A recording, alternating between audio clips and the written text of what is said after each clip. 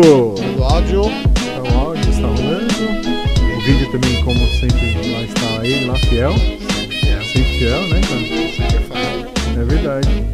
E meu querido Vinícius Klaus. Não, não sei. Vina Klaus, Vina Klaus! Tá Tá aí, Vina Klaus. certo, obrigado. Muito bem elaborado esse É verdade, né? A gente tá pertinho do final de ano, essas coisas de Natal e tal. Pois é, ó, temos uma, uma pequena decoração aqui de Natal. É, ali, ó, o, o sonequinho ali, ó. Olha lá, que sonequinho bonitinho. tá a caráter. É, você tá também muito bem vestido. Gostei da sua camisa, aliás. Gostou? Muito bacana. É a minha, minha camisa de festividades. É, Todo fim de ano eu só uso ela, nem lavo. é uma só pro, pra, Não, é pro só uma inteiro, né? por dezembro inteiro eu só uso uma. Tá certo. Tá melhor que eu, cara, porque eu tenho zero roupa de Natal, cara. É verdade. Então, só um aviso antes de da gente começar, Ah, sim, é verdade. que eu acho que é importante. É, esse será o último episódio da temporada do nosso podcast. Sim, encerramos uma temporada. Você é, conseguimos, né, cara? Que legal, a gente chegou no final do ano, cara. E então, por motivos maiores, né? Aquela coisa toda de final de ano, um vai viajar, o outro tem que trabalhar, não sei o quê, criança, Natal. Então a gente vai dar uma pausinha aí, nossos fiéis ouvintes. É, a gente pede perdão por ficar. é, ainda mais nesse final de ano que as pessoas estão querendo ficar em casa, ouvir e tal. A gente, infelizmente, vai faltar com vocês. Mas a- em janeiro, logo quando acabar toda essa bagunça toda, a gente volta. Eu acho que ano que vem promete ser muito mais legal, né, cara? Porque É, já tem pessoas aí interessantes na, na, na É. lista aí. Eu acho que vai ser bacana. é, acho que a gente vai engatilhar uma- um- um- alguns episódios aí que vão ser bacanas. Então, novidades aparecerão e serão muito bem-vindas. Vocês com certeza não perdem por esperar. Né? E aí, pra, a gente trouxe esse episódio. Alguém que, tá, vive, que vive né, ainda exatamente essa experiência, cara, de alguém que foi pra, já tá morando há quanto tempo, mais ou menos? Desde 2014 que a gente saiu do Brasil. É, Já tipo, tem cinco anos, vamos Cinco pra seis. anos fora do Brasil. Quase É. seis, né? E aí, para falar exatamente sobre essa experiência, sobre essa diferença de como que é viver fora do Brasil, dentro do Brasil, como é que é a experiência do- de um brasileiro fora do Brasil, que é, é- que é- às vezes é o sonho de muita gente, mas muita gente às vezes não entende o que, que é exatamente isso. E, e muito importante ainda é, é é como é que é essa experiência de alguém que foi é, completamente dentro da lei, legalmente, de, de uma forma assim é, certa, do jeito que tem que ser feito, né? Para falar exatamente sobre isso, a gente trouxe aqui os nossos amigos de longa data, Mr. Johnny. Muito bem-vindo. E a Bruna também. Bem-vindos os dois aí. obrigada. É, obrigado pelo convite. Muita satisfação de estar aqui e poder comentar um pouco da nossa experiência no exterior. Né? É, ajudar quem tem interesse aí. E é muita gente que tem interesse, né? Toda hora você É. vê, pelo menos no meu Facebook tá toda hora, né? Vai, morar não sei aonde, vai morar não sei o que lá. Tem uma vila no meio de Portugal que tá pagando pras pessoas e tem um monte desse negócio, né? agora vocês estão, agora vocês estão em Liverpool, né? Isso, Mas agora- vocês também moraram nos Estados Unidos, né? Foi, primeiro a gente foi para os Estados Unidos. Em 2013 a gente fez uma viagem de férias para os Estados Unidos. Foi Tá. a primeira vez que a gente pisou nos Estados Unidos e eu gostei do tio Sam. eu falei, nossa, que lugar. A gente foi lá pros parques em Orlando, a gente foi para as outlets, a gente fez todo aquele Todas as coisas que passeio. brasileiro adora. Tudo, É, é, tudo. é. Nossa, mas aquilo foi um sonho, foi um sonho. Aí a gente voltou e eu estava trabalhando na época ainda como advogado e enfim, aí via o Brasil, tava com aquela situação política. Eu e a Bruna a gente pensando em formar uma família, Uhum. filhos, tudo. Eu cheguei para ela e falei: "Bruna, o que que você acha da gente sair do Brasil?" Na hora mesmo ela ela topou, falou: "Acho uma boa. Vamos, vamos lá, tal". E, e foi assim que que começou. A Hum. ideia de, de sair do país, a gente já tinha gostado muito dos Estados Unidos e foi para lá que a gente decidiu iniciar. No início, quando a gente ia sair daqui, foi uma coisa assim, bate um pouco de insegurança. A gente não sabia vai com que visto, não sabia onde que ia estudar, porque você, eles pedem para você pagar antecipadamente o curso. Uhum. Aí numa dessa você. Tudo, tudo antecipado? Os meses que a gente queria estudar tinha que pagar O antecipadamente. termo, é o termo. É. Então, e aí, como a gente tá aqui no Brasil, já fica com o pé atrás de, de golpe, essas coisas assim. Claro. fala, É. ah, vou pagar e nunca vou ver essa escola, o meu dinheiro vai, vai embora. Não sei. Então, começa com essa insegurança. A gente acabou indo para Tallahassee, na Flórida. Uhum. Tinha uma escola de inglês lá de uma universidade que um brasileiro que eu conheci aqui em São Paulo mesmo, ele trabalhava na universidade como pesquisador. Ele falou: Olha, tem uma escola de inglês na universidade lá em Tallahassee, a universidade é boa, por que, que vocês não vão para lá? Aí eu falei para Bruno: falei, Olha, ele tá lá, a universidade existe de verdade, a chance de perder o dinheiro é, é mínima. Aí a gente foi lá para Tallahassee, cidade poucas pessoas ouviram falar. É no todo- norte da Flórida, né? É, É a e- capital é- da Flórida. Ah, é a capital.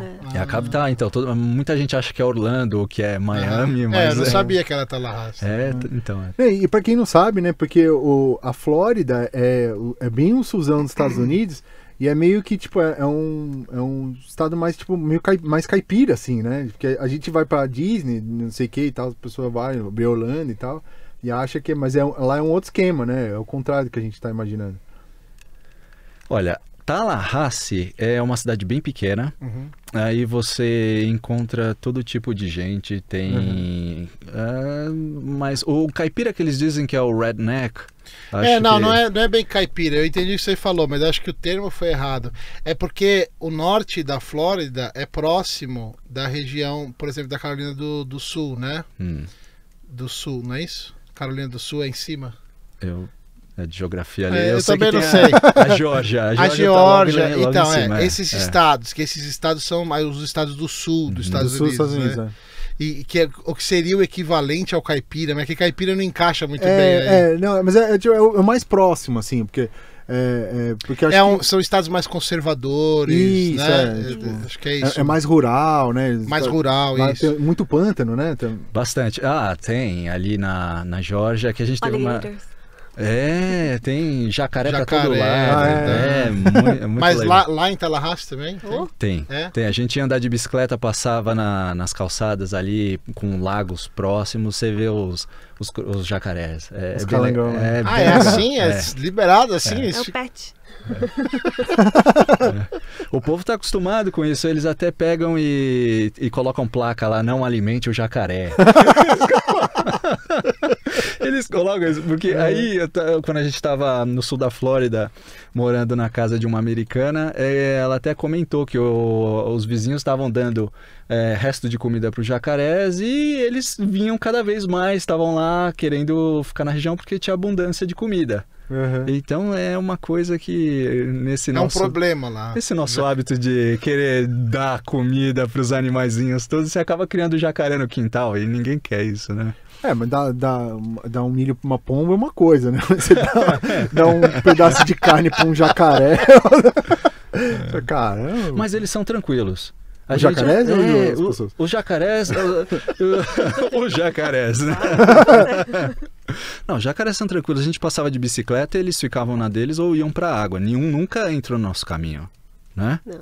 Até a gente vê bastante caso de pessoas jogando golfe e o jacaré cruzando na frente. Tem várias. Na, Ah, na é? internet você joga lá alligator, golf e essas coisas. Você, você vê imagens, você, você acha essas coisas. Tem bastante. Os jacarés fazem parte, eles estão acostumados com esse tipo. Ó, eu acho que é isso, ó. É o que eles chamam de. Eu acho que eles chamam de Antebellum South nos Estados Unidos, ó. A Flórida, a Geórgia, É. aqui é a Carolina do Sul, se eu não me engano, e aqui é o Alabama, é isso? Alabama. Eu, não consigo, eu não consigo ler daqui. Alabama, é isso. Alabama. Ali é Alabama e depois mais pra esquerda é o Mississippi. Isso, isso. É, então, é toda essa região aqui. Que eles dizem que é o berço da música. O berço da música É. negra, né? Do, do blues, né? Elvis veio de, do Mississippi. É, Mas- então. Então, aí ele depois ele foi pra Tennessee. Eu lembro que tem a plaquinha lá. É, tem, tem toda, toda a origem do, do que eles chamam de blues, né? É dessa região, Hum. do, do Mississippi, né? É, Agora, fala uma coisa, vocês ficaram quanto tempo lá em Tallahassee? Tallahassee foi de 2014 até 2015, foi isso. Um ano e pouco. E como é que é o, o choque? Porque assim, uma coisa é você ir para os Estados Unidos e ir na Disney, ir nos altos. Outra coisa é você morar lá, É. né? Parece que é a mesma coisa, mas não é. Qual que é a diferença? O que, que vocês notaram que falou, pô, teve algum momento que vocês pegaram e falaram, putz, peraí, não, não era bem assim? Ou era mesmo o que vocês esperavam? É, a realidade é bem diferente. aqui. A realidade é bem diferente do que a gente vê em filmes, do que a gente escuta falar e a, e a expectativa que a gente tem. Quando você chega lá e vai alugar sua casa e vai estudar e manter a sua vida social, é tudo diferente. As pessoas têm outros costumes e você acaba às vezes se sentindo um peixinho fora d'água. Aí você fala, "Hum, aqui realmente não é minha casa. E aí só que você já se programou todo, você já se desfez de todas as suas coisas no Brasil, se mudou, tá lá, Uhum. é o vai ou racha. Então, até você se adaptar à cultura, comida, Aí no nosso, conceito. no nosso caso, a gente ainda vendeu tudo que tinha aqui, né? É, exatamente. A gente, é, a- nós saímos do- dos trabalhos, vendemos os carros, tudo que podia usar para fazer dinheiro, a gente fez e levou para os Estados Unidos. Eu fui com 10 mil, a Bruna foi com 10 mil também.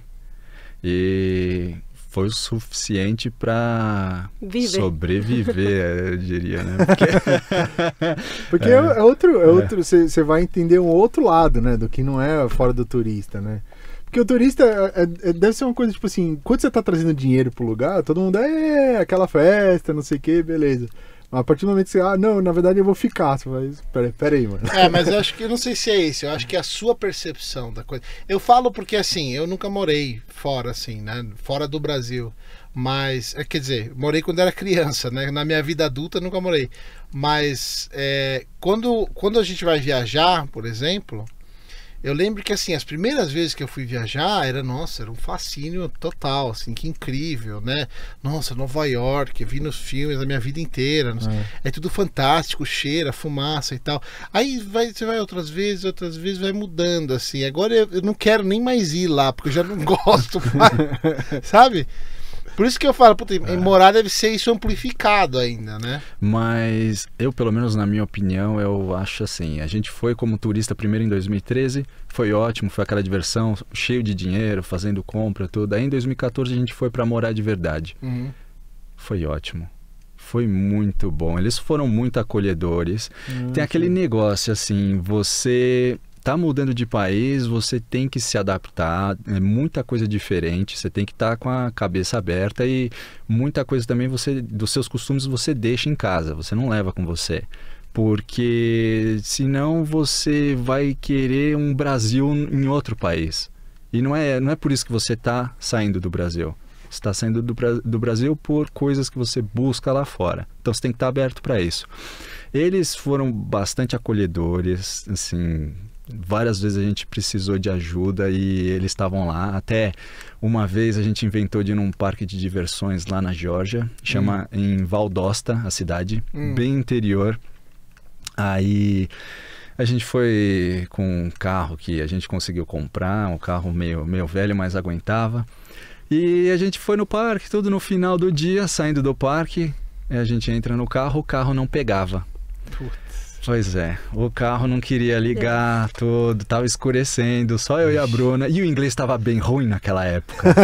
É, Nossa! porque nós fomos pra lá primeiro pra aprimorar o inglês. É, né? é. Então, Foi, a gente foi como tu- estudante e o inglês estava começando a engatinhar. Aham. Aí o carro não funcionava e tentava tudo. E os americanos vieram, assim, que estavam lá em volta, eles vieram falar: Ih, seu carro não tá pegando, tenta fazer isso. Aí vinha outro e falava: Olha, eu tenho uma bateria reserva aqui, quer tentar tal. Veio um homem junto com a esposa, eles também estavam com os filhos deles ali. Ele falou: Olha. Tenta fazer isso. Se não funcionar, vocês podem ir lá para nossa casa. Vocês Nossa. podem ficar lá com a gente e tudo. Legal. E ah, resolvendo o negócio do carro de vocês, vocês voltam. Aí, é, aquele negócio, a gente fica com receio, né? De...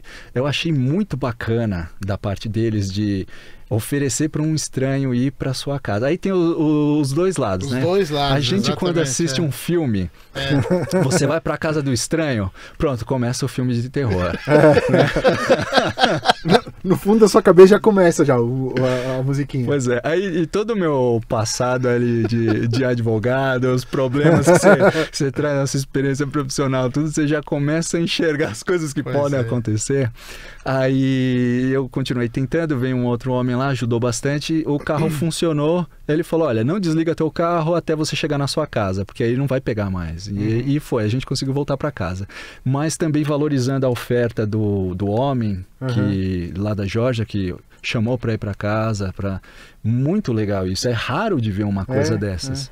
Muito raro. Mas a gente passou por uma coisa parecida também quando nós fizemos a nossa road trip lá, saindo de Tallahassee até Las Vegas, quando nós pegamos o, a enchente em Louisiana, que nós ficamos Ah, é presos. verdade. nós ficamos presos lá, a gente não conseguia sair, a polícia mandando a gente voltar e procurar abrigo, enfim. Quando a gente conseguiu encontrar um café aberto, eles falaram, vocês podem ficar aqui. Aí nós temos uma casa ali, onde tem uma biblioteca, um cômodo que vocês são... A gente acomoda vocês, vocês passam uma noite lá, ou até quando precisar, até se sentirem seguros para continuar a jornada. Pois é. Foram duas vezes aí que ofereceram para um estranho poder ficar em casa e até um, assim, muito legal da parte deles. Depois eu mandei mensagem agradecendo, mas a gente seguiu e eu vi depois acabou alagando aquela área também. Foi triste. Né? Porque ofereceu para ficar na casa dele e depois acabou alagando aquela área também. É um infortúnio, né? Mas, Mas- ca- oh, po- pode falar, Bruno. Desculpa. Então, voltando à, à realidade que a gente tem de expectativa e a realidade lá, eu acho que também tem duas realidades. Você indo como estudante e você indo para buscar uma vida melhor. Hum. Você indo como estudante, a, a instituição que você está lá, está oferecendo serviço para você, eles te dão um suporte absurdo. Hum. Tanto que você se sente acolhido para qualquer coisa que você precisar, desde médico, desde mercado, comida, conversation partner, que eles É. arrumam gente para conversar com você, para você não se sentir sozinho. Então você tem tudo isso. Então tudo é lindo também, né? Hum, entendi, E aí você está entendi. com um estudante, você tem dinheiro, você tem, você não tem preocupação, vamos dizer assim. Mas aí quando você vai lá para procurar uma vida melhor, você tá ali, né? A sua realidade é aquela. Se acabou o dinheiro, você não tem um backup no Brasil. Uhum. Ah, quando eu voltar eu tenho meu dinheiro, minha reserva. Ah, eu tô passando perrengue, eu tenho minha família. Uhum. Não, você tá lá, tá sozinho. Você e num Deus, país é. que você que não é a sua seu, como é que chama? Como é que eu posso falar? Não é o seu lar, né? Que É. você considerou lar a sua vida inteira, né? Você, Exatamente. esse que é o problema. Como é que é essa fica essa sensação fica sempre ou uma hora ela acaba? Porque eu fico fora 15 dias, eu falo, puta, eu tô com saudade da minha casa, eu quero voltar pra minha casa. Por mais gostoso que esteja a viagem, eu sempre me dá um negócio assim, nossa, eu tô com saudade do meu sofá, minha casa, sabe? Onde eu posso falar da política. Porque tem muito. A minha mãe falava isso pra mim quando a gente morou lá nos Estados Unidos. Ela falava que é, ela não ela, ela não tinha momentos em que ela achava ruim porque justamente ela falava assim pô eu não posso reclamar do presidente aqui não é meu presidente entendeu? Acho que isso é, é, uma- é um exemplo uma, uma, uma analogia que ela fez que eu achei legal ficou ressonou em mim ressoou em mim. Que assim pô cê, parece que assim você não tá na, no você você é um você tá de fora né? Você é um convidado entre aspas né? Tem esse negócio? Esse negócio muda Acontece. melhora? É, tem esse, tem essa, essa sensação, ela muda, você acaba. Eu acho que a gente é bem flexível nesse sentido. Então, quando a gente estava morando na Flórida, que a gente conseguiu alugar nosso apartamento, aí você começa a decorar, você cria o seu ritmo, a sua vida, e e você enxerga aquilo como seu lar. A gente. É até engraçado, você começa a sonhar em inglês, você começa a sonhar. É, você deixa de sonhar com a sua antiga casa, você sonha no ambiente que você está vivendo. Tem uma, uma transição, assim, e você se enxerga no seu lar. Agora, por exemplo, que a gente está em Liverpool, é, eu sinto que é o meu lar. Até acontecer de a gente mudar para algum outro lugar de novo, mas Os nômades. é, Os nômades, né? é, mas essa sensação muda. No início foi complicado até porque a gente estava com visto de estudante Hum. e você precisa, você tem que cumprir os requisitos que são tá estudando e para estudar você precisa de dinheiro. Uhum. Aí, é, ou depois que eu me graduei, eu pude trabalhar por um ano legalmente, que eles autorizam você ficar um ano lá trabalhando. É o OPT, OPT, em a sigla. Você, é, eu esqueci o que significa, mas é uma autorização para você trabalhar por um ano. Tá. Se eu não conseguisse trabalho em 30 dias, eu, te- eu teria que deixar o país. Então, é, você sente um pouco numa corda bamba. Aham. É, qualquer coisa assim, acabou o dinheiro. Acabou o dinheiro para você pagar a mensalidade ou você não consegue se matricular no semestre que vem? Volta.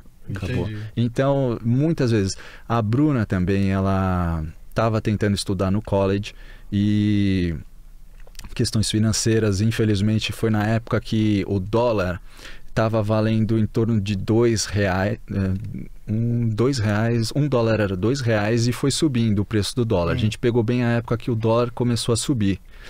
E aí um curso que, por exemplo, você ia pagar 5 mil reais, foi para 7, para 10, foi Ixi. subindo muito. E é difícil você conseguir acompanhar esse preço porque você se planejou, você já vendeu tudo, você tem aquilo e é Uhum. aquilo. Uhum.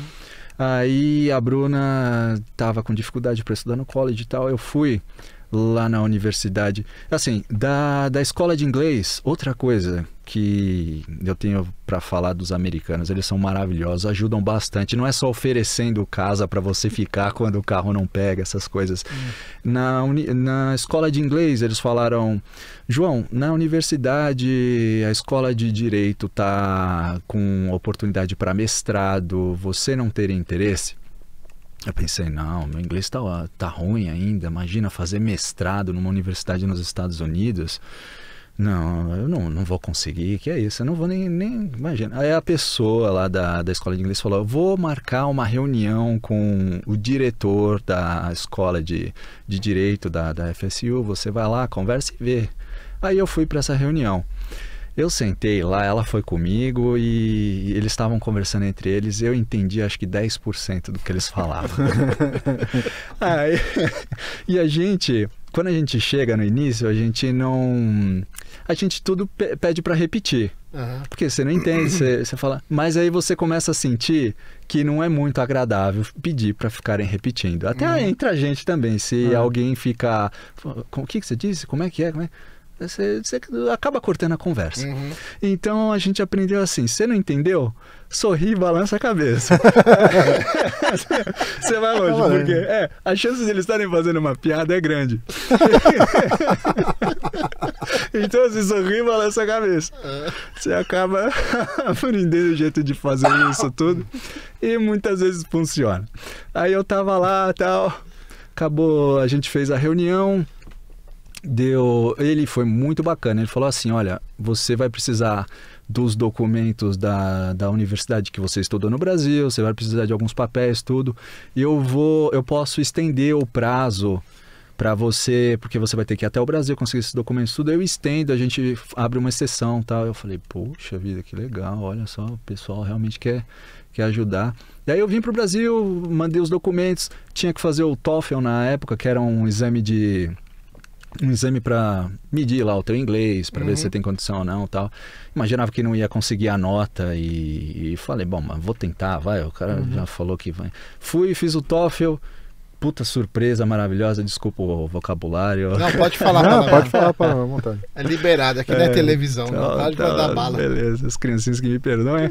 É, eu fiz a, a prova do TOEFL, eu consegui a nota que precisava ali na risca. Foi, foi maravilhoso, surpresa maravilhosa. Mandei os documentos, tudo. Me chamaram e deram uma bolsa ainda. Deram uma, eu, eu fiquei, Olha. eu fiquei surpresa, assim, eu falei, poxa, já. O curso era uns 40 e, pouco mil, 40 e poucos mil dólares, você pagou Ah, uns 10. foi. Foi. Caraca, uma Me bela deram bolsa. Uma bolsa maravilhosa ali. Eu falei, meu Deus, eu estudei no Brasil, morei no Brasil quase 30 anos, nunca ganhei nada de lugar nenhum. Eu acabei de chegar aqui, eu tô há dois meses já estão me oferecendo bolsa. Falei, caramba, pô, o negócio é bom. Aí comecei a estudar lá tal. E cheguei nessa, nessa época que a Bruna tava lá com o college, com aperto, tudo que se ela não conseguisse pagar o próximo semestre ia ter que voltar por causa do visto de estudante. Aí eu peguei e fui lá na escola de direito e conversei lá com uma diretora. Hum. Eles tinham todo semestre eles têm bolsas, eles estudam as pessoas que precisam, tudo. Fui lá, conversei com ela, eu falei, olha, eu tô com risco da minha namorada ter que voltar para o Brasil, eu ficar aqui sozinho. O dinheiro, por causa da diferença de câmbio, tá, tá ficando curto. A gente tá se alimentando. ah, Eu não compro carne, eu só como salsicha. E era verdade mesmo. Tava, tava caro comprar carne, a gente tava se virando ali, economizando o máximo possível. Eu expliquei a situação para ela. Ela falou: Eu vou ver o que eu consigo fazer. 5 mil dólares ajudariam? Hã? Eu falei, nossa, puxa, muito obrigado. De, de coração, Mas assim. como assim? De- dela, pessoal? Não, não, não. O pessoal teve uma professora que ainda. Prestou. Eles são maravilhosos. Eles são...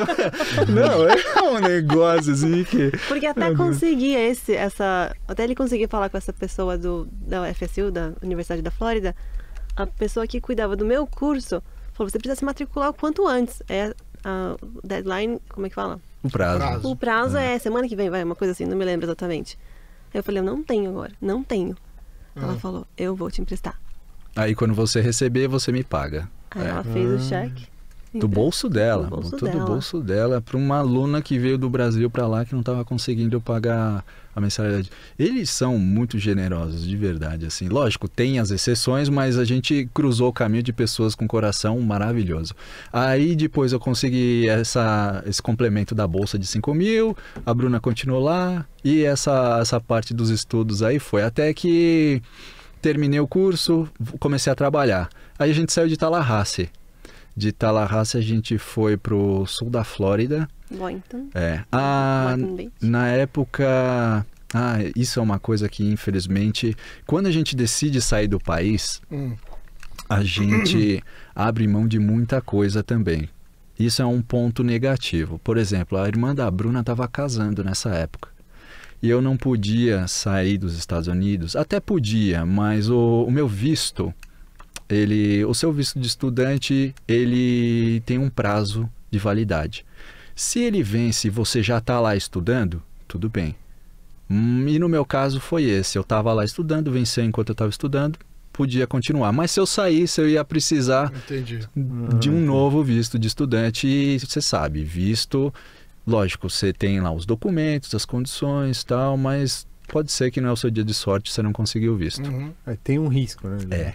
Eu não quis correr esse risco. Ah, verdade. Principalmente na época que eu concluí o mestrado e podia trabalhar, que era o momento de conseguir um retorno Uhum. financeiro ali do, do, do que a gente já botou de investimento. Então, a Bruna veio aqui para o Brasil, eu tive que ficar lá, não pude no ca- casamento da irmã da Bruna. Então, assim, acontece esse tipo de coisa. Você tá fora, muitos amigos casam, têm filhos, parentes que.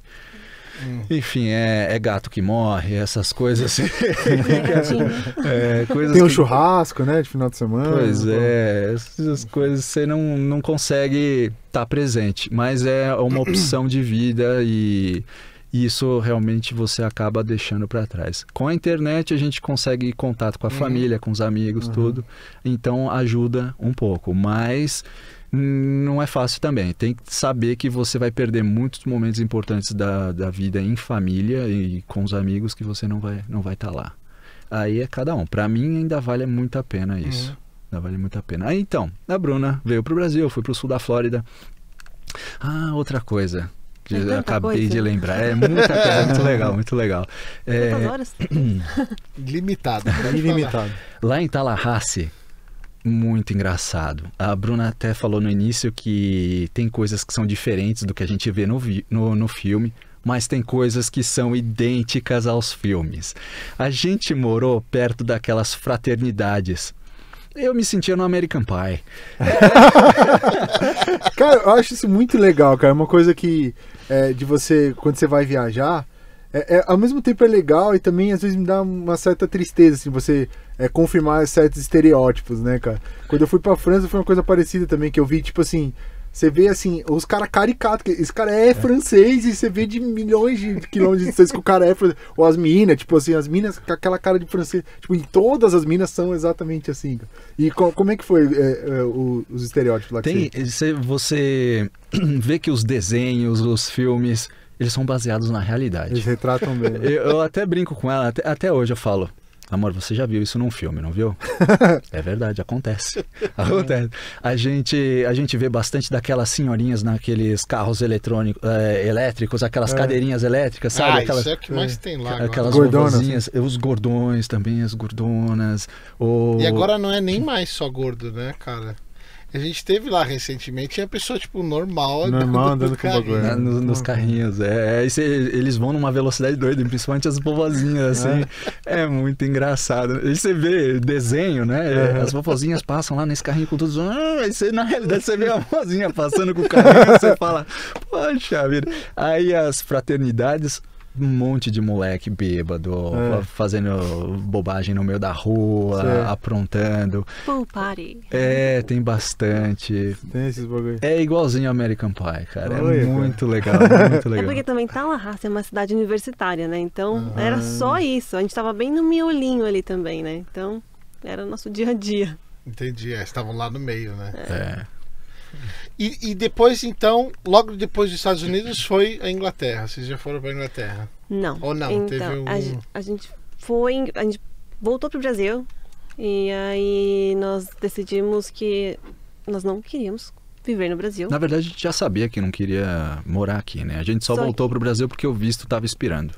Mas partiu o coração ter que sair dos Estados Unidos. A gente já É? tava, é, a gente já tinha a nossa casa lá no, não, a gente não comprou, né? Mas onde a gente morava, mais de um ano morando no lá perto do Coconut Creek, que fica no sul da Flórida. Perto de Fort Lauderdale. É, o clima maravilhoso, Hum. as ruas. A gente, a Bruna já tava com o carro dela, eu já tava com o meu carro.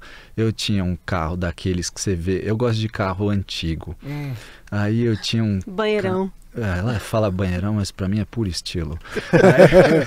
Eu sentava no carro, parecia que eu tava num sofá de casa. Aí você pega naquele volante, você sente o material, sabe? Eu acelerava, eu ia pra trás, sentia como se o carro estivesse levantando, assim. E o carro era velho, mas era cheio de classe.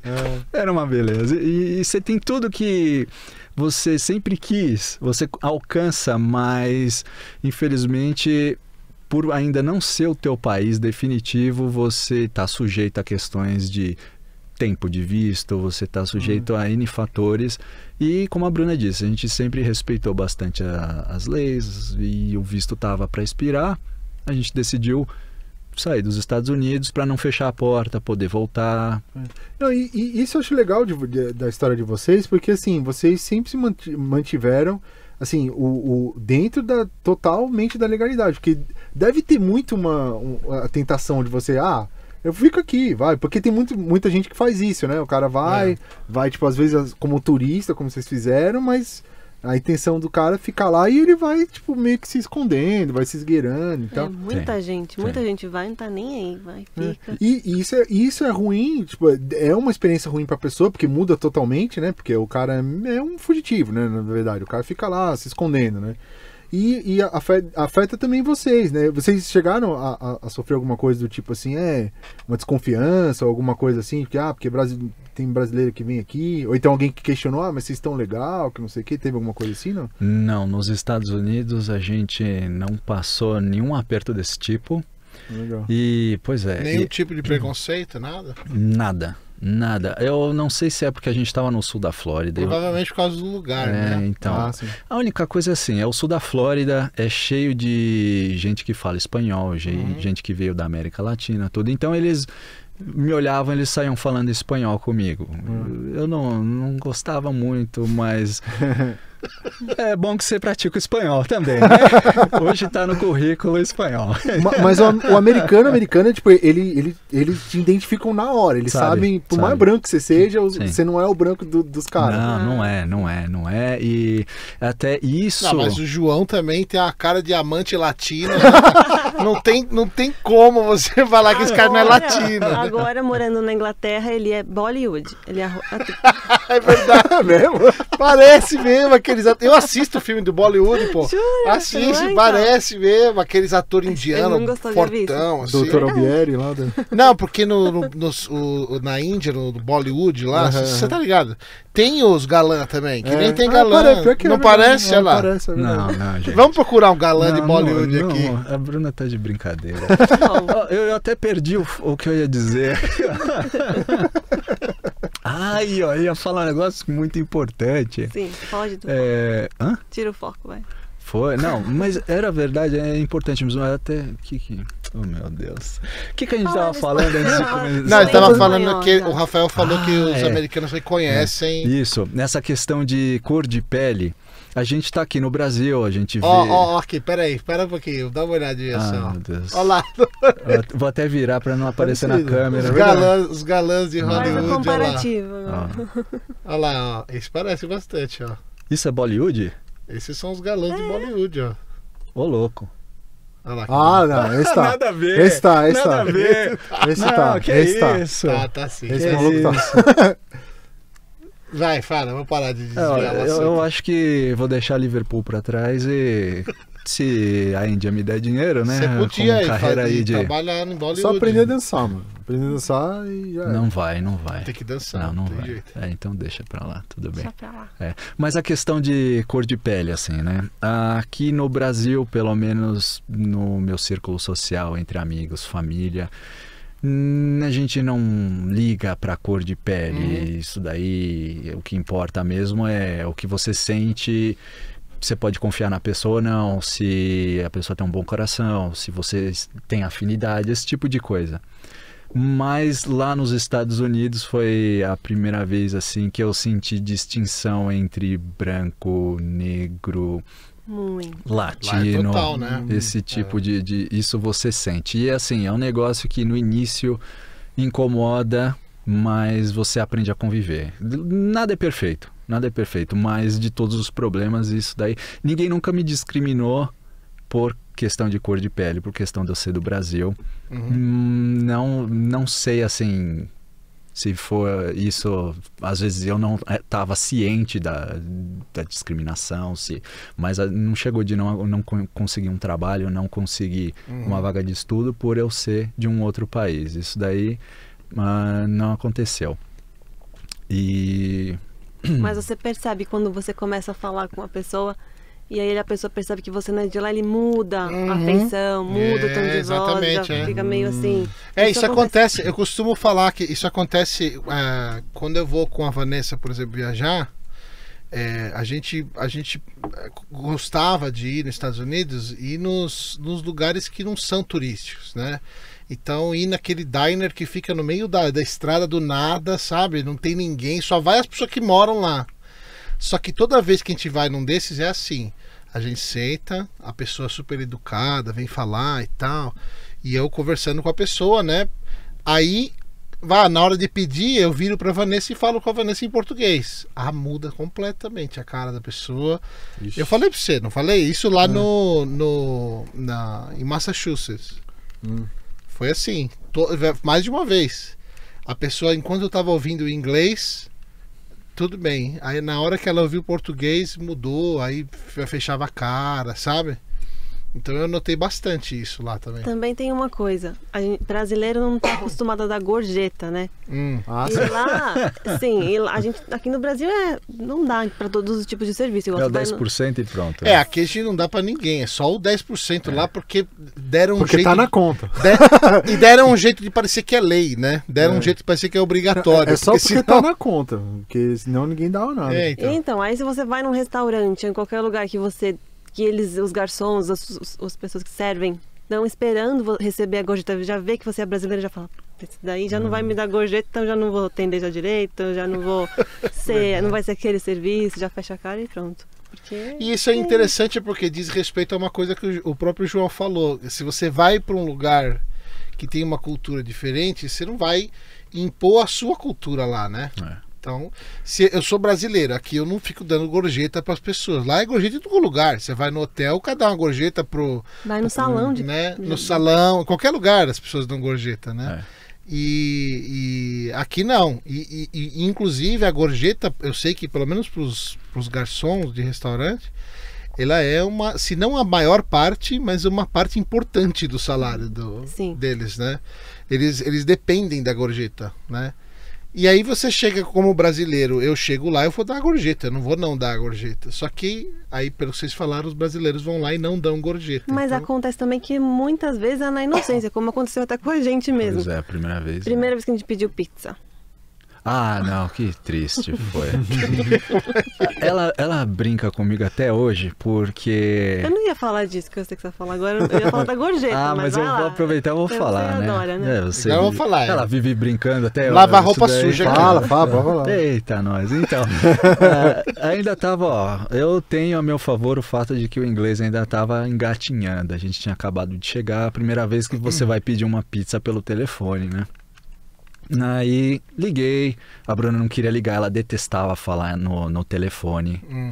É, Até dá pra entender. Você, É. você não queria fazer ligação nenhuma pra nada, lembra do eu, telefone? não, eu não gosto, em português, É. eu não gosto de falar no telefone. Eu adoro. Eu Mas adoro. Você não gosta de falar no destino- telefone? Não, não gosto. Não gosto de atender o telefone. O telefone toca, eu falo, quem tá me ligando? Eu não gosto. Sério? Sério. Por quê? Eu não gosto, eu não sei. Nunca gostou? Não sei, não sei, não gosto. Ainda mais quando, porque na época que eu voava, eu tinha esse negócio de sobreaviso. O celular tocava, já me dava um negócio. Assim, vou, ter que, vo- vou ter que trabalhar agora, vou ter que voar do nada. Ah, me sim, você um negócio. era comissária, né? de- Sim, aí quando o celular tocava, vou ter que parar tudo pra sair correndo pra ir Ah, trabalhar. Olha, como Então alguém ficou, que- ficou meio traumatizada. É, como alguém que trabalha com a, tem- tendo que atender cliente, eu entendo. Você completamente. A pior coisa do mundo é atender ligação.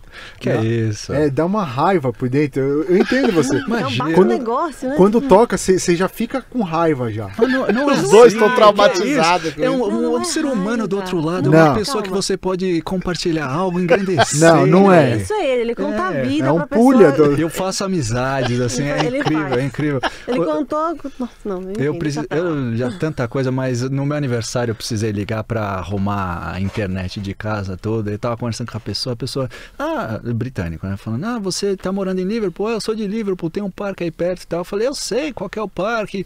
Ah, então tá, meu aniversário. Eu seu aniversário, eu vou dar um descontinho aí na sua conta e tal. Ah. Aí você já ganha um descontinho, você faz uma amizade e tal. E além de tudo, você melhora o inglês. É o que eu vivo falando pra ela. Enquanto a gente tava no Brasil, tinha que pagar para falar inglês com professora, tinha que pagar para falar inglês. Lá é de graça, é só fazer uma É só ligação. falar. É só você telefonar e você pratica inglês de graça.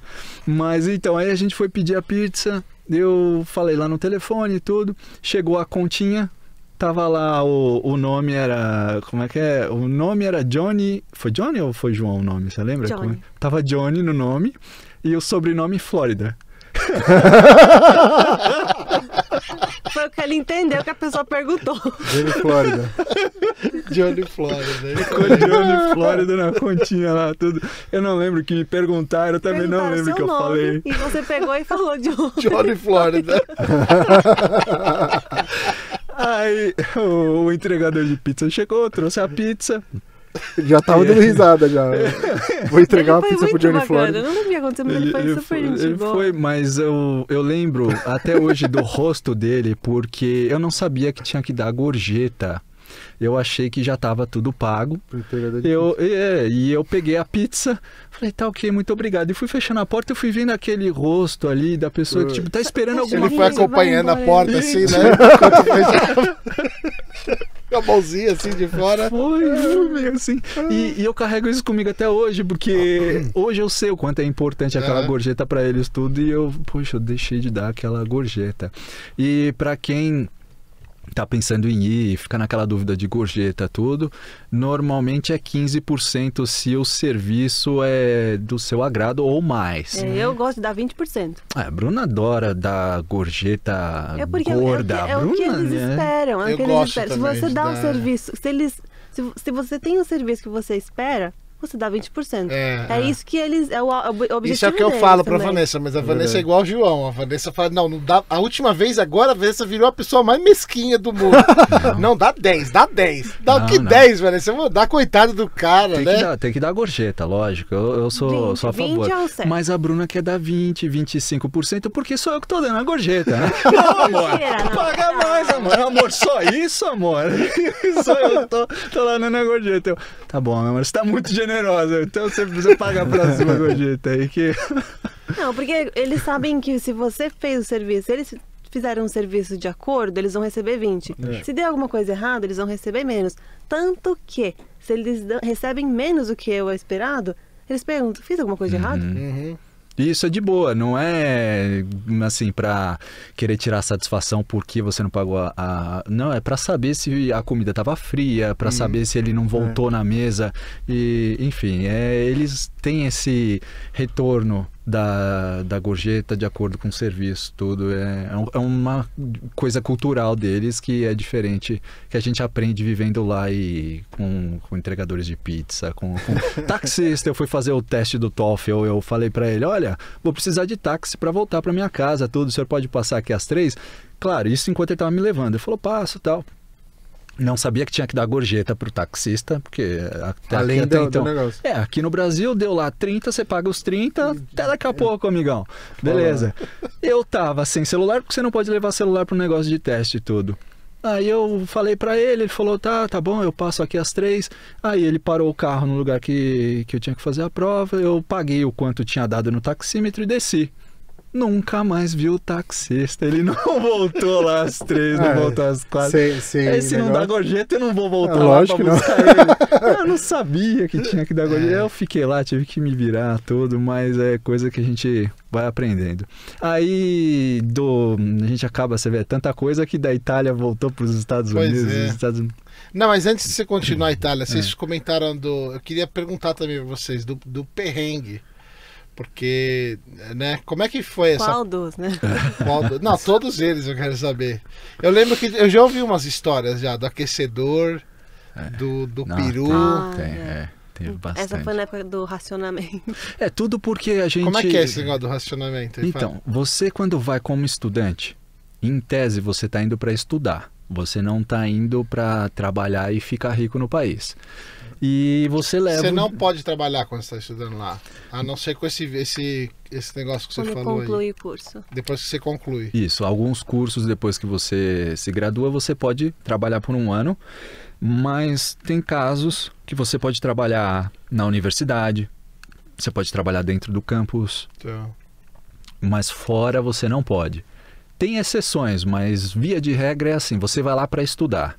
Você Nem não... garçom, nada. Não, não pode, não, Não, pode. entendi. Aí você, se você começa a fazer uma coisa dessas, claro, todo mundo é livre para fazer o que quiser, tudo, mas pelo menos eu ia ficar com aquela sensação de que a qualquer momento ia chegar alguém e podia É, dar um lógico. negócio ruim e ser deportado e não voltar mais pro, Uhum. pro país. Mas tem uma coisinha, desculpa te Oh, interromper. imagina. Quando você está estudando, você pode ter um trabalho meio período dentro do campus. Eu falei isso. Só que aí, é. para você conseguir esse trabalho, hum, é quase deve ser impossível. 1% né? de chance É, de você conseguir. Porque tem muito. Todo mundo todo quer mundo fazer quer, isso. é. É né? muita Mas consegue. procura. Eu consegui.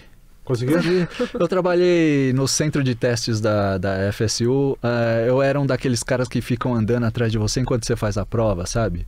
Você tá Como? lá, é, monitor de prova. Ah, No, no centro de testes, você senta naquelas cabines para fazer a prova, você tá lá concentrado e fica uma pessoa passando atrás de você para ver se você não tá colando. se você- Ah, tá. Aquela coisa tá. que incomoda tanto que te descontrai. Eu, eu fazia isso. Eu não sei porque na minha cabeça veio uma, tipo, uma pessoa andando, fazendo prova e o João lá atrás, assim. Fazendo prova enquanto anda. Né? o cara andando, fazendo a prova e o João, é, vamos ver. Foi. E, e como Ah, é que então. é esse, esse negócio do racionamento aí? O que, que é isso? por você ir para estudar e não poder trabalhar, tudo, você só vê o dinheiro indo, indo, indo Uhum. e, e dá um desespero. Eu imagino. Foi a primeira vez que a gente saiu de casa. Eu morava com os meus pais, a Bruna morava com a mãe dela.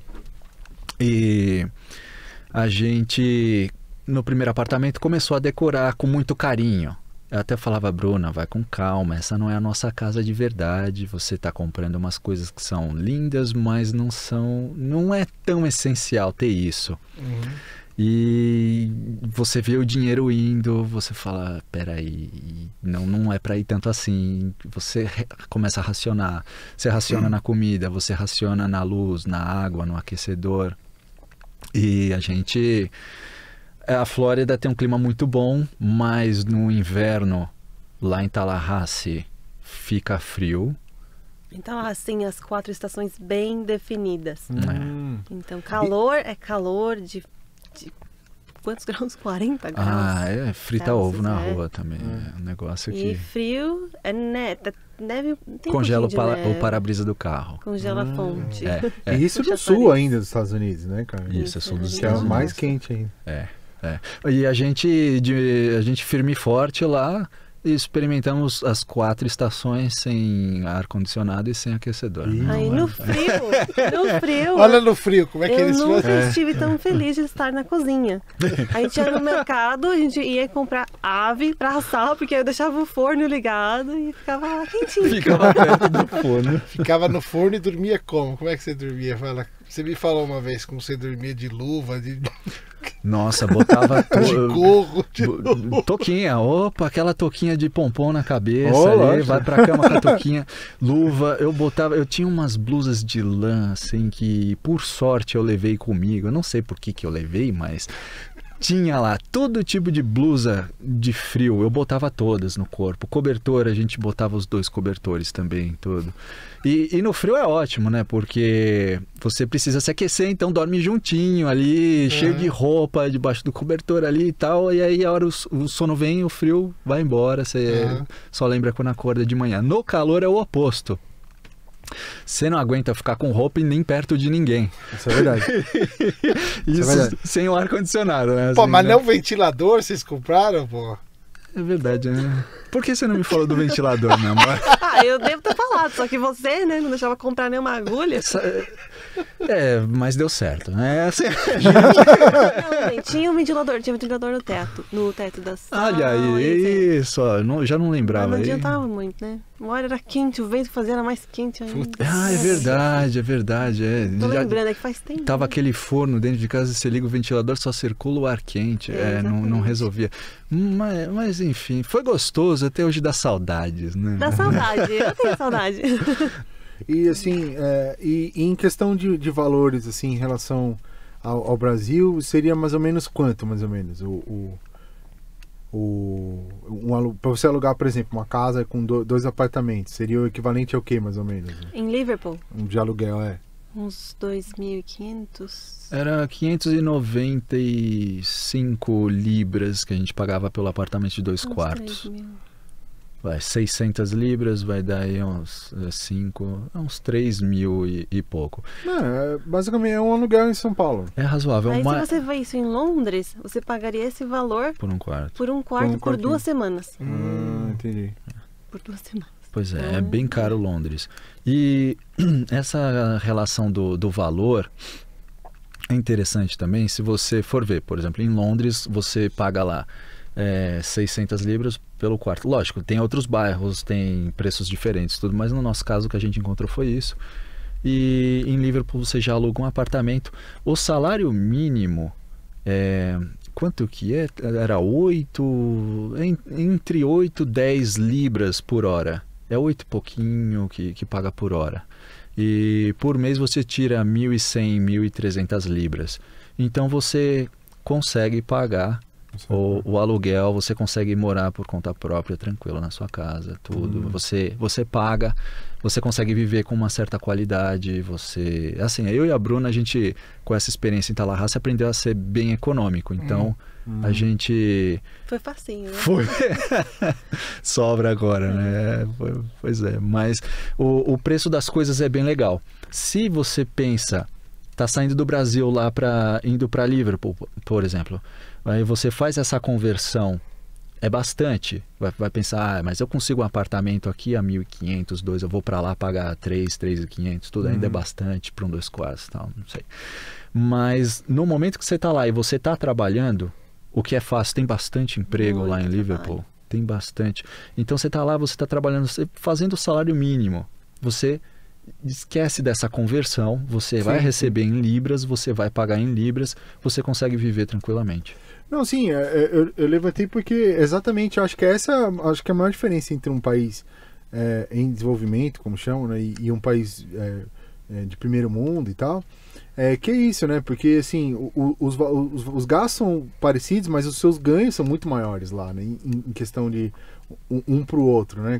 Porque, tipo, eu, eu, eu, sei que eu tô procurando apartamento para alugar aqui e, e, em São Paulo, por menos de 2.400 é muito difícil alugar um apartamento bom, assim. Óbvio que você, você vai, tipo, para mais longe e tal, você consegue. Mas, tipo, um apartamento legal e tal, não sei o quê, por menos de 2.400 e é a mesma coisa. Só que um salário mínimo aqui não chega nem perto de conseguir nem alugar esse, esse valor, né, cara? Então, tipo, é, é um outro esquema. Essa, essa diferença eu acho muito interessante. É, tem... Uma, uma, pessoa que ganha um salário mínimo, por exemplo, lá em Liverpool, vai, que é onde a gente mora, tem uma base boa. É, que ganhando um salário mínimo, essa pessoa consegue juntar dinheiro, viajar, é, ter carro, comprar casa, fazer tudo isso. Agora, aqui no Brasil, quem ganha um salário mínimo consegue o quê? Não, pagar, salário mínimo pagar dá... as prestações. Não, não dá nada. Salário mínimo tá o quê? Nem mil reais, é. Acho que tá mil, porta de mil. Tá perto de mil, né? Tipo, mil reais. Você não, não, não consegue no aluguel, você vai ter que ir bem longe. Você mora. E aí é, você consiga, sei lá, pagar 500 conto no aluguel, sobra outros 500 pra você, tipo, viver, comer, não sei o que e tal, fazer as coisas. Não, não, tem como, cara. E vocês estão acompanhando as, as peripécias do nosso, nosso Brasil ou vocês se desligaram totalmente do, do Brasil? Eu, na, desde que a gente saiu, eu, eu, sempre li bastante jornal, sempre fui ligado, conectado com essa história, essas notícias, essas coisas. Uhum. Na, quando eu estava nos Estados Unidos trabalhando para o escritório que estava processando a Petrobras, eu uma das tarefas era ler jornais, uhum. era estar tá por dentro do que estava acontecendo com Lava Jato, com um depoimento de fulano, ciclano. E era uma. É, você, quando tá fora e você lê, essas coisas parecem uma novela. É, é, tanto drama, é tanta coisa, é reviravolta. Aí você vê, ah, vai, vai acontecer um impeachment, não, mas não vai cair, não, não sei o que. De é. repente a pessoa cai e depois acontece isso e aquilo. É, é tanta surpresa. É um negócio assim que você. O que, que vai acontecer hoje? Deixa eu ver o jornal lá pra Mas ver. Mas é, o Brasil tá meio que uma novela mesmo, tá aparecendo, né? Mas eu reparei que todo Mas lugar. Mas a Inglaterra também, né? É, e a agora gente... o Boris lá, é, o Boris ganhou agora lá. Ganhou, ganhou hoje. Hoje? Hoje, dia 12. Então, 13. Hoje, hoje, é 13. Então foi ontem. É, ontem foi teve ontem. a eleição, é. Ontem teve a eleição, ganhou, tá com a maioria dos conservadores lá no, nas cadeiras, vamos ver. Então, e agora ele falou que vai rolar o Brexit, né? Pois é. No prazo Não, que é, acho que é 31 de janeiro, né? É, mas tem que rolar de qualquer jeito, né? Aliás, porque você, vocês então foram para lá com o visto da, da União Europeia? Não visto, a gente foi. Visto não, com... cidadania. Não, visto não, como cidadania, aí da, por causa da União Europeia. E agora com o Brexit, como é que vai ser? Isso, é isso que eu ia perguntar. Então, é, tudo pode mudar. Enquanto não tiver no papel, as coisas podem eles podem falar que vai ser A, mas aí vai para o parlamento, vira B. Então a gente só vai saber mesmo quando tiver definitivo. Mas parece que o, as pessoas que estão vivendo lá antes do Brexit podem continuar normalmente. Hum. É, você tem um procedimento lá que você entra na internet, põe lá os dados, tudo, eles já te devolvem um e-mail confirmando que você fez o cadastramento para permanecer no país. E a gente até fez isso também, tudo. Então parece que para as pessoas que já estão lá vivendo não vai ter problema. Ah, eu, eu não até sei. Até ano que vem, né? Até janeiro do ano que vem. Então, até janeiro do ano que vem não acontece nada. É dia 31 que eles estenderam para definir essa história tudo e não sei se vai estender de novo ou não, vocês vão conseguir decidir o acordo.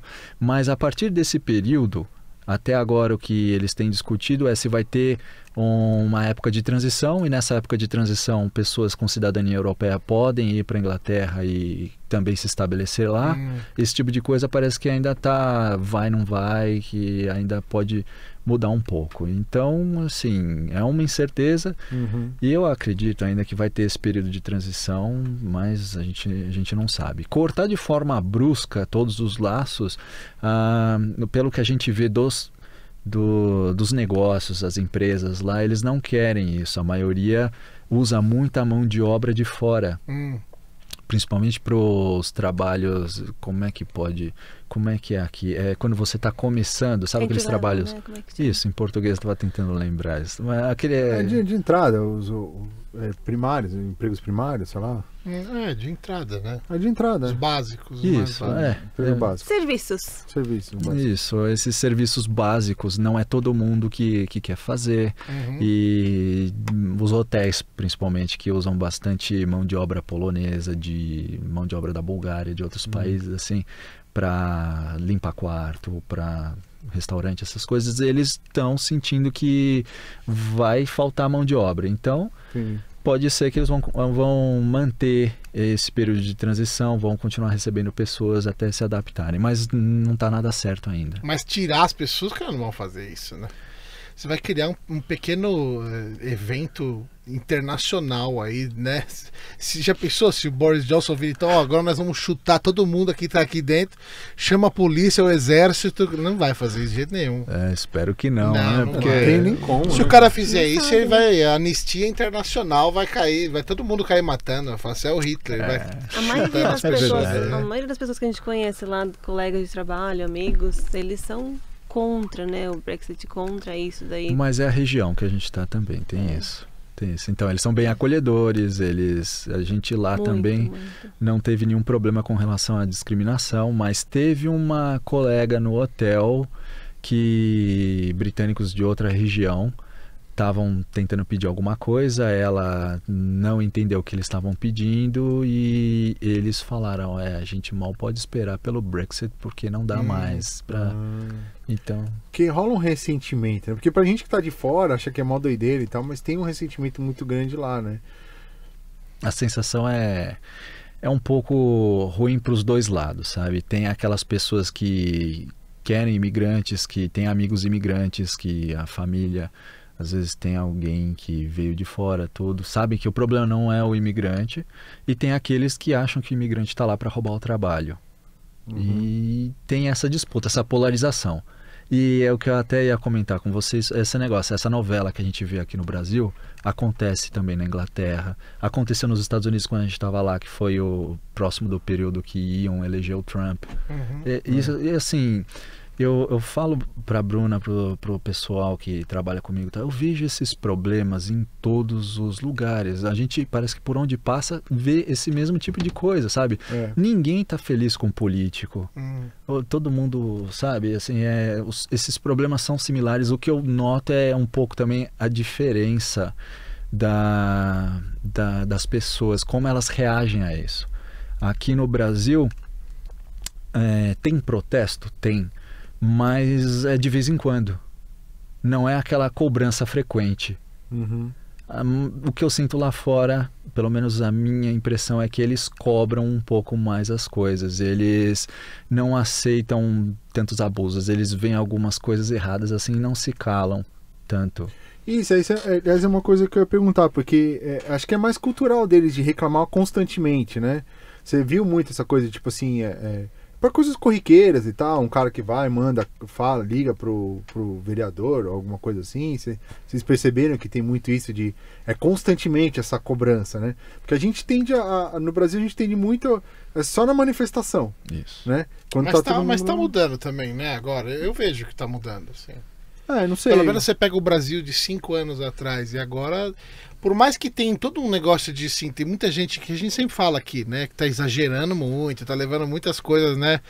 Mas eu vejo uma diferença que eu acho positiva, né? Assim, há 10 anos atrás, ninguém sabia quem era o ministro da Justiça. É, né? sim. É, isso. Eu, isso é eu vejo verdade. que tá mudando, sim. Eu acho que tá mudando. Eu, pessoalmente, acho que a gente tem um- uma defasagem clara, assim, na. na tudo que a gente está passando, os países desenvolvidos já passaram, já, mas antigamente, né? Então vai chegar um momento em que vai estar no. Eu, eu, eu vejo isso, assim. Se bem que hoje em dia todo mundo fala que tá todos esses. esses toda essa dicotomia, né? Essa guerra que tá no, no- mais política, né? Nos Estados Unidos estão falando que. é, eu vi uma pesquisa outro dia que saiu. É, 30, 40% dos americanos acham que vai ter uma guerra civil logo, logo Hum. nos Estados Unidos. É, eu espero que não chegue nesse, Nesse nesse, ponto, nesse é. ponto. Ah, provavelmente não chega, mas só é, as pessoas terem essa, É. essa percepção, né? E você sente, você no, no- estando no país, você, você vive isso daí. E f- referente a essa cobrança dos seus direitos, essa nos Estados Unidos era muito legal porque eu vi, as pessoas estavam trabalhando comigo, eu via que eles eram engajados, eles iam atrás de informação, eles eles não aceitavam abusos. Aí você vê bastante vídeo no YouTube, você vê bastante casos assim de pessoas que foram paradas por um policial e queriam saber o que estava acontecendo, por que foram paradas, ou sabiam até onde podia é, questionar sem, sem ter os seus direitos violados. Ou então, se você. Eu não sei se é por causa da história deles, que eles lutaram bastante para conseguir direitos civis, essas coisas todas, eles carregam isso com eles. Eles não aceitam abusos. Se você. Até. Tem coisas culturais, assim, se você fala muito alto com a pessoa, ou se você chega muito perto dela também tem é, se você toca muito na pessoa que né, a gente aqui tem hábito de abraçar de dar tapinha no ombro essas coisas assim. Então tem tem um monte de coisa assim que eu assim, é, não lógico isso de tocar no ombro vai mudar a postura dela de cobrar um político tal mas eles têm consciência dos direitos deles do, do que eles da luta.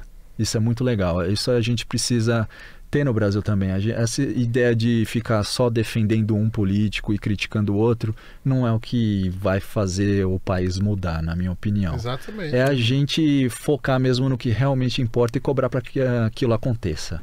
Uhum. né? Não, e cobrar constantemente coisas corriqueiras, né, cara? Tipo, é, tem, tem um buraco na rua, você, tipo, liga pro cara, tipo, todo dia. Fala assim, e aí, mano, tem um buraco aqui na frente. Tipo, tem que recapear esse negócio, entendeu? Não sei o quê. Aí ficar só nessa coisa, ah, quando tiver uma manifestação, aí vai todo mundo. Aí, tipo, ah, parece que é meio que eu já fiz minha parte. Aí, tipo, daqui a só na outra, daqui a, sei lá, três meses, o cara volta, tem outra manifestação, ah, beleza, tô lá, beleza, tô de volta. E do pessoal daqui, teve alguma coisa tipo, ah, vocês abandonaram o país, vocês não estão nem aí pro Brasil? Teve alguma coisa do tipo? Não. Eu não, não passei por nada disso. É. Porque eu já ouvi já gente fazendo isso, falando, alguém que saiu, aí vai falar alguma coisa, fala, não, cala a boca, você saiu do país, você não pode mais falar nada do automaticamente, você não é mais brasileiro, porque saiu. Não. Eu fiquei curioso, será que vocês já tinham passado por alguma coisa do tipo? A gente não passou por. Geralmente as pessoas elas admiram o- que a gente fez e só querem saber como e buscar fazer É, o mesmo. uma coisa, é uma coisa muito difícil de fazer, né? E como vocês estavam falando aí, eu acho que tem que ser bem jovem mesmo para fazer isso. Porque Tem que ter depois muita coragem. Tem que ter muita coragem, né? Porque você tem que abdicar de um monte de coisa. E eu acho que o principal é abdicar dessa coisa que a gente tem aqui. Né? Aqui não, a gente tem em todo lugar que é você tem que ter um. Você tem que ter uma carreira, você tem que fazer isso desse jeito, desse jeito certo. Você não pode fazer nada diferente, né? Porque senão você é um fracasso na vida. É, isso né? daí a gente não vive, né? A gente, não, a gente quebrou todo esse tipo de. É, Então, Nessa ideia pra gente assim ficou pra trás. Porque... mas com certeza vocês tiveram que enfrentar esse, isso, né? Não, nós lógico. quebramos todo esse tabu, É né? isso. Isso, mas a gente passou por isso. É, você cresce na, na escola e Isso. vai para a universidade. Você tem essa. o que a sociedade espera de você. né? É. Aí chega naquele momento que você realmente olha para o que você quer da vida. Você fala, é isso que eu quero, ou eu quero ver como é que é lá fora, é o que, o que as suas prioridades. Uhum. No nosso caso, a gente decidiu ir para fora e, e foi isso. E agora, e agora vocês pretendem ficar lá? Em, em Londres, não, na Inglaterra. Isso, lá em Liverpool a gente pretende permanecer por lá até a próxima experiência. A gente volta. Ah, é, já, tem, já tem o prospecto de uma próxima, já é isso? Do horizonte já tá. Olha, daqui a pouco vai, vai dar aquela coçadinha. Provavelmente vai ter, né? Temos que Sim. sair. Vai ter, né? As coisas ficam muito É monótonas. assim, a gente gosta muito do Brasil, das pessoas, da comida. A gente sente muita falta dos amigos, da Aham. família. Uhum. É, questão cultural também, tem muita coisa que a gente sente falta, assim, mas tem coisas que a gente fala. Não precisa passar por isso. Igual a questão de segurança, Hum. a questão de isso saúde. é. E aí você coloca, ó, você tá morando fora, aí você sente, ai, tô com saudade da minha família, mas aí você começa a ver os- o lado positivo, o lado negativo, você começa a colocar na balança e fala, é, realmente não vale a pena, vamos continuar aqui, vamos tentar mais um pouco, vamos ser forte. É. A gente busca um futuro melhor para os nossos filhos, dá mais oportunidades. O que, que você sentiu de bom e o que você sentiu de ruim nos, nos Estados Unidos, por exemplo, Bruna? Bruna, por exemplo, Bruna. Bruna. Bom, comida nos Estados Unidos. A qualidade da comida é difícil. Hum. Você paga muito caro para você ter um alimento que realmente seja saudável, porque as coisas lá são, porque os Estados Unidos é um país super capitalista. Uhum. Então eles querem é vender, eles querem é ter lucro. Então a qualidade acaba diminuindo muito. Então se você vai comprar uma salada, você vai procurar um orgânico, porque senão vai estar cheio de é, produtos geneticamente modificados, cheio de agrotóxicos, essas coisas. Então aí para você ter um orgânico é muito caro que você paga. Aí carne também, você vai procurar ter uma que não tenha hormônios, também paga-se muito caro. Aí você vai jantar fora, você vai no restaurante, vai estar cheio de. é, como é que chama? Corn syrup, que eles falam lá. Os, É, é xa- é xarope, Xarope de de milho, né? milho. Xarope de milho, É, né? que, que lá eles usam muito, porque lá não tem tanto Tudo. açu- o açúcar que. É, eles usam como açúcar, né? porque é mais barato, né? É, muito mais barato. barato. Então é tudo assim, aí acaba. E outra coisa também é a questão de sistema de saúde. É muito bom, porém é caríssimo, né? Então, Hum. pra você ter acesso, você Ah, tem que ter é isso que eu ia perguntar. dinheiro, Lá você tiver, vocês tinham, vocês tinham o, o- porque lá não existe é, plano de sa- saúde. saúde, é, saúde pública, né? Vocês, vocês pagavam o, a seguridade social lá, como é que é o nome? Existe a saúde pública, Tem, certo, mas. tem o tal do Obamacare lá, né? É, eu não sei se tem, tinha, ou como é, É, que agora aconteceu. Porque eles, é, mas assim, tem a saúde pública, só que eles esperam que você tenha o seu plano de saúde próprio. E é muito caro. é, você paga o plano de saúde e você- se você usa, você ainda tem que pagar é, adicionais é, com, com participação. Eu não, não sei como é que eles chamam, chamam isso, como chamaria aqui também. Uhum. Mas não é só o prêmio do seguro que você paga. Você paga conforme você usa também. É. Pelo menos a maioria dos planos de saúde. Até a ambulância você paga. ó. Se acontecer Eu- um acidente, ligar pra ambulância e depois vem a conta da ambulância. É, eles Ixi. não vão negar te- atendimento, mas vai ter que pagar. Nem que Depois seja você paga, anos, é. é. um É financiamento. muito caro, é muito caro. A Bruna, logo que a gente chegou, ela teve uma reação alérgica que não dá um saber lagarto. o que, que foi que causou, mas ela ficou transformada, o rosto vermelho, inchado, teve que ir pro hospital. Aham. Aí a gente pegou o táxi, eu não sabia que tinha da gorjeta. Olha, se tem alguém que tem que dar gorjeta, Não, é não, pra não, alguém não, que não, vai não, cuidar da sua não vida. pegamos um táxi. A gente foi de táxi pro hospital. Não, João, não foi a cara da bicicleta que a gente comprou a bicicleta? Ele deu a carona de volta. Ah, é verdade. É. Vocês foram de bicicleta Ah, pro hospital? Não. Não. a gente a foi menina de- com choque anafilático lá. Desviando dos jacarés, né?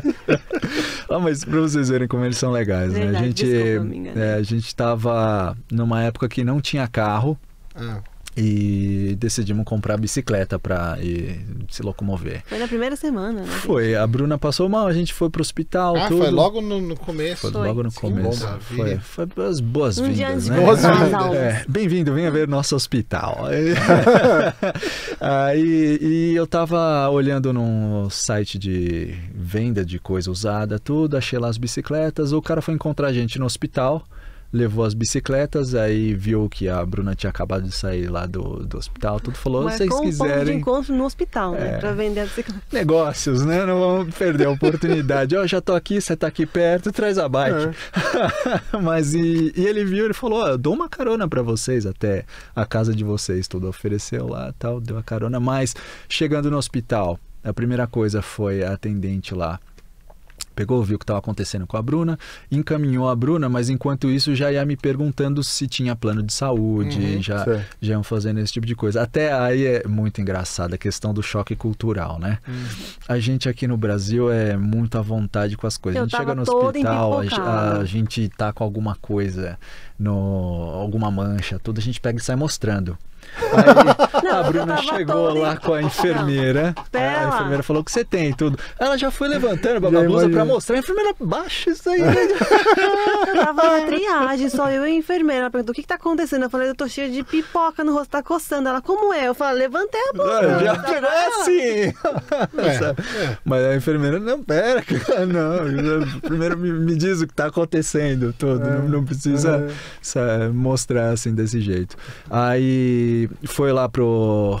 Pro, Pro médico foi, foi atender. Não passou nem enfermaria, passou nessa triagem e me encaminhou pro apartamento já. É, Já foi direto. O médico, muito bom, ele chegou, olhou assim falou: é tal coisa, não precisou de exame, isso e aquilo tal. Já passou os remédios. Eu falei: nossa, mas será que ele acertou? Será que é só isso? Não quer exame e tal? Resolveu, aí depois veio a conta para pagar. Ah, Aquela conta assim que a gente conversando com os americanos, eles falam: olha. Muita gente quebra porque precisa usar sistema de saúde, outros parcelam e vão pagando quando dá e quando não dá Porque renegocia. não tem um mínimo, você paga quando você pode. Se a conta é de 10 mil, você pode pagar 10 dólares por mês. Hum, É entendi. tanto que você É. vai pagando. E tinha o plano de saúde, e aí o Ixi. plano de saúde eh, resolveu isso, mas a gente chegou a ver a conta, tinha ficado bem carinha, assim, se a gente tivesse que Nossa. pagar. Acho que ficou uns 400 dólares só pra olhar o médico e falar assim: isso é uma alergia. Toma esse remédio. Mas ele deu resolveu. Ah, ele me né? deu um antialérgico ali. Me deu um antialérgico na hora e me mandou comprar o. Se ele manda fazer o exame, aí ele te fala pra tomar a mesma coisa, só que fica muito mais caro, o que, que você ia fazer? Não, sim, né? ficou. Não, Melhor É, falar. ainda bem que ele não mandou fazer é, exame. Vamos economizar aqui? É isso? Mas Toma isso aqui, tá Pra bom. ter uma ideia, só nessa brincadeira de ir lá, passar na enfermeira com a triagem, me mandar pro apartamento, pro médico falar, é isso? Já deu 400 dólares. É, Pra não fazer nada, né? Ele só falou só, né? Exatamente. É, Eu acho que tem que valorizar, o cara deve ter estudado muito tempo. Tudo, Sim, e... com certeza, mas é um. E resolveu, hein? Mas E- pois é, mas. De repente, será que não é por Ah, isso eu que. não sei nos Estados Unidos, mas aqui o negócio tá feio, viu, cara? De médico. É. Aquela, essa porrada de faculdade de medicina que inv- inventaram nos últimos 20 anos, assim. Hum. Cara, eu já fui em pronto-socorro, o cara procurou no Google o que que era. Nossa. Na minha frente. Isso. É, aí é difícil, cara. É, não. é- Mas, mas então. Tá cheio disso aí agora. Cheio desses Mas médicos. olhando no. Google, vai, não sai nem de casa. Me-? É, esses médicos de pronto-socorro, né? Não médico. Médico que já, já tem mais experiência, tem uma prática e tal. Mas esses de pronto-socorro, cara, tá, tá feio o negócio. Eu tenho medo de ir no pronto-socorro. É, é meio complicado. Não, isso pagando, pagando plano de saúde, né? Sim, É, pagando plano de saúde que Foda. é uma bica também, viu? é, é caro pra Agora, coisa muito boa, hein? Lá na Inglaterra, plano de saúde, Ah, de graça. assim, a gente. Ah, Inglaterra é, a é gente tudo na nem. faixa. É, né?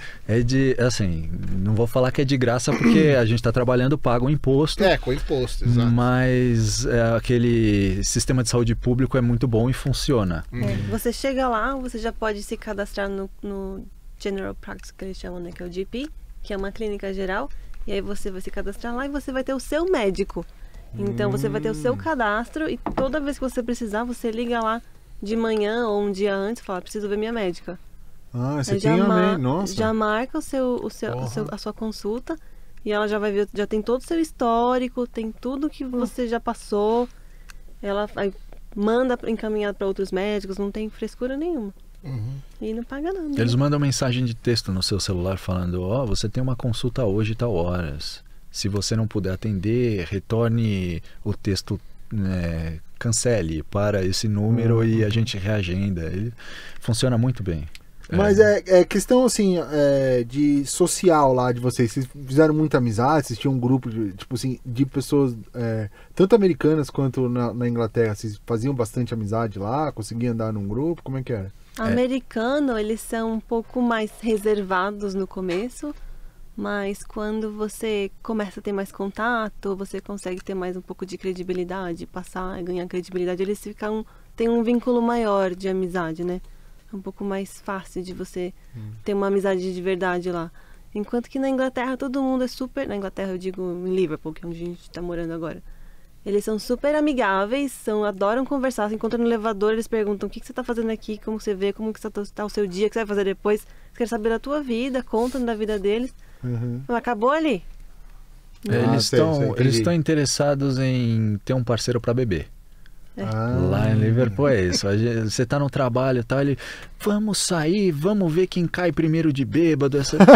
Eles têm essa fissura por beber. É E é eles bebem demais. Eles. Nossa, Não e- tem idade, não é só não gente da nossa idade. social. Você vê idosos, você vê senhoras.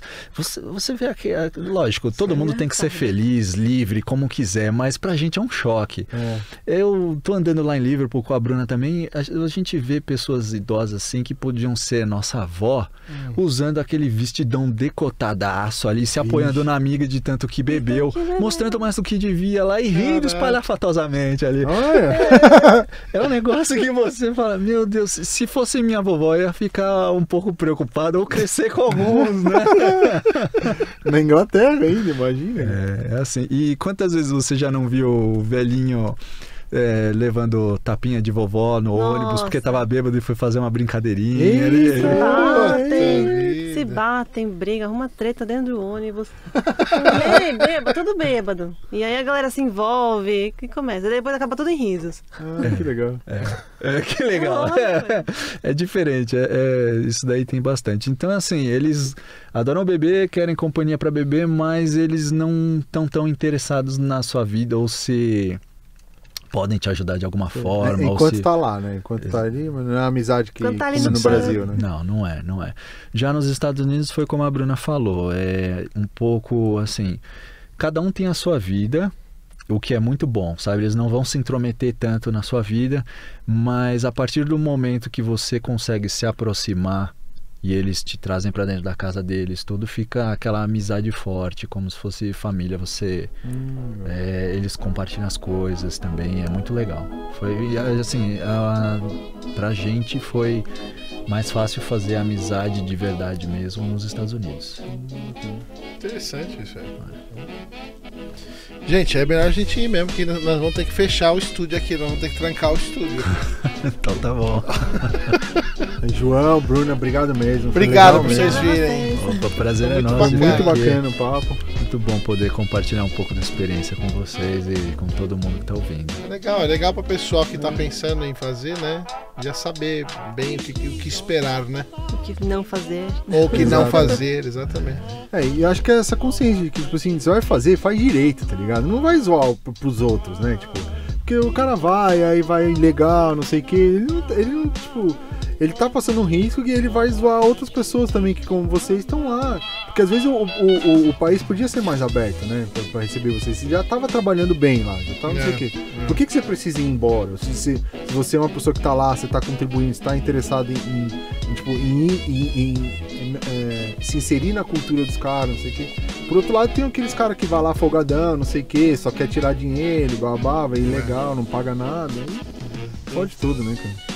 É verdade, é, é bacana fazer isso do jeito certo. Eu também concordo. É, isso é legal bem mesmo. legal. O importante também é ir, saber o que tá fazendo e se informar muito, porque as pessoas também vão com essas coisas que foi o começo do, do nosso papo, né? Falar das expectativas e da realidade. As pessoas vão achando que é uma coisa, chega lá é totalmente diferente. Diferente, é. E aí acaba des- desistindo ou, sei lá, ficando depressivo. É, ah, Igual tem é- algum problema, né? É. É verdade. Tem que se informar, tem que ir atrás, É, saber o que tá fazendo e ver um caminho mais fácil, certo? Né? Não, o Johnny falou certinho. Não vai querendo, tipo, eu vou querer reproduzir o meu país no outro país, né? Nunca vai funcionar isso. Você não vai chegar lá e comer as mesmas coisas, é, fazer as mesmas coisas, é, os mesmos. Você tem que ir se inserir. Você tá indo no meio dos caras e vive como eles estão lá, né? Bem melhor. Muito bem. Obrigado de novo pra vocês. Obrigado a de- vocês. De verdade. Valeu. Boa viagem de volta e boa sorte lá. Verdade. Obrigado. Obrigada. Sucesso, feliz Natal, feliz ano novo. Feliz Feliz 2020. Natal. É. Feliz 2020. Nossa, 2020. cara, Não acredito. Valeu, Rafael. Valeu, querido Vin- Vina Klaus. Vina Klaus, tá certo. Santa Vina, não era Santa Vina? Sei lá. Falou. Até mais, meus queridos. Valeu. Até ano que falou. vem. Até ano que vem.